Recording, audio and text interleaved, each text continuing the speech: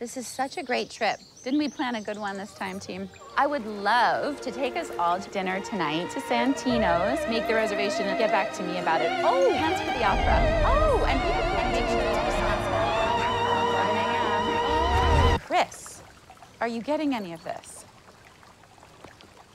Dinner at Santino's, opera tonight, tour tomorrow, and check up on Shuggy. Oh, okay. You go, Chris.